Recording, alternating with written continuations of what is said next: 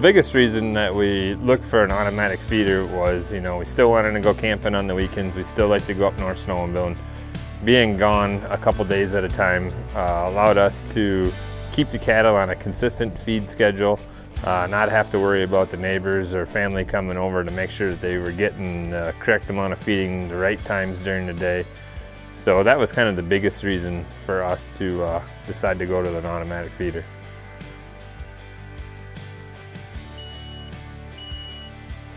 Uh, I needed something where I didn't have to come home every day. And in talking with Dave, it seemed like a good move because I don't have to come home every day. I can set it to go off however many times a day I want, let's say three times to start.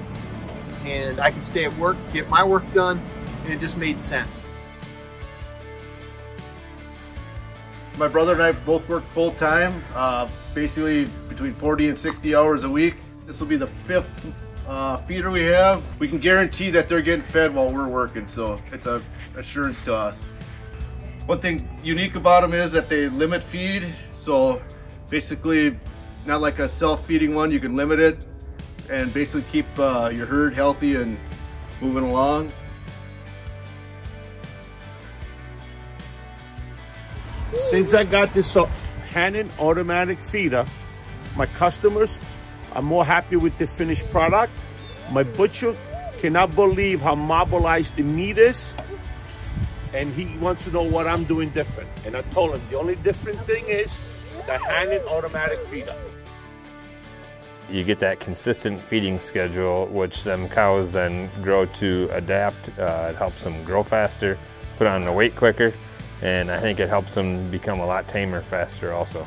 So the cattle have been on the feeder for all summer. We've had uh, 200 day weaning averages of uh, 650 pounds on our calves. We've never had that kind of growth. We're probably up 75 to 100 pounds this year on 200 day average. These goats were bought in December of last year with a body condition of around, in a scale of one to five, about a one. Uh, we've been feeding us with one feeder approximately 50 head six times a day. We took these animals from a one conditioning to a, obviously they're running about a four, maybe a little on the heavy side. One thing good about these feeders is that we're cut back on the feeding now.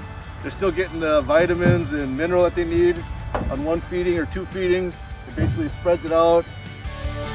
Fill the hopper, set the timer, start feeding.